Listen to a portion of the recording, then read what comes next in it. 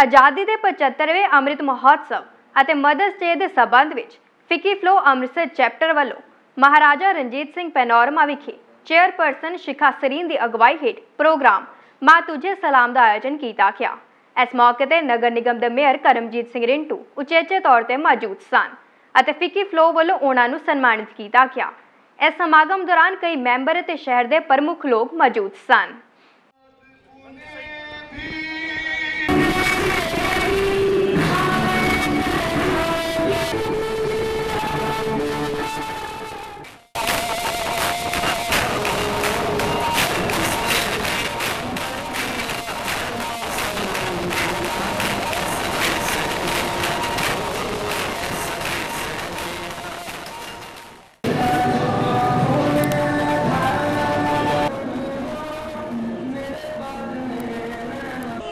ਅੱਜ ਬਹੁਤ ਵਧੀਆ ਇੱਕ ਖੁਸ਼ੀ ਦਾ ਮੌਕਾ ਕਿ ਅੱਜ ਸਾਡੀ ਬੜੀ ਵਧੀਆ ਆਰਗੇਨਾਈਜੇਸ਼ਨ ਫਿੱਕੀ ਫਲੋ ਔਰ ਜਿੰਨੀਆਂ ਵੀ ਸਾਡੀਆਂ ਸੁਪਰ ਪਾਵਰਫੁਲ ਲੇਡੀਜ਼ ਨੇ, ਉਹਨਾਂ ਨੇ ਇਕੱਠੇ ਹੋ ਕੇ ਅੱਜ ਮਦਰ ਡੇ ਨੂੰ ਸਮਰਪਿਤ ਇੱਥੇ ਪ੍ਰੋਗਰਾਮ ਰੱਖਿਆ। ਹੈ ਕਾਰਟ ਆਫ ਪੀਸ ਅੱਜ ਪੈਨੋਰਾਮਾ ਦੇ ਵਿੱਚ ਸਥਾਪਿਤ ਕੀਤਾ ਔਰ ਇਸ ਦੇ ਨਾਲ ਨਾਲ ਜਿਹੜੇ ਔਰਫਨ ਸਾਡੇ ਸਪੈਸ਼ਲੀ ਬੱਚੇ ਨੇ ਸਪੈਸ਼ਲ ਬੱਚੇ ਨੇ, ਉਹਨਾਂ ਨੂੰ ਵੀ ਬੁਲਾ ਕੇ ਤੇ ਸਨਮਾਨਿਤ ਕੀਤਾ।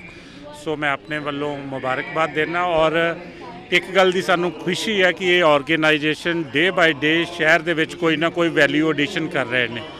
ਸੋ ਇਹਨਾਂ ਵੱਲੋਂ ਪਹਿਲਾਂ ਵੀ ਬਹੁਤ ਸਾਰੇ ਇਦਾਂ ਦੇ ਕੰਮ ਕੀਤੇ ਗਏ ਨੇ ਸ਼ਹਿਰ ਦੀ ਖੂਬਸੂਰਤੀ ਦੇ ਵਿੱਚ। এনवायरमेंट ਨੂੰ ਲੈ ਕੇ ਕੋਵਿਡ ਦੇ ਦੌਰਾਨ ਔਰ ਬਹੁਤ ਸਾਰੇ ਜਿਸ ਤਰੀਕੇ ਦੇ ਨਾਲ ਗਮਟਾਲਾ ਬਾਈਪਾਸ ਪੁਲ ਦੇ ਉੱਤੇ ਇੱਕ ਬਹੁਤ ਵਧੀਆ ਉੱਥੇ ਲੈਂਡਸਕੇਪਿੰਗ ਕੀਤੀ ਗਈ ਹੈ।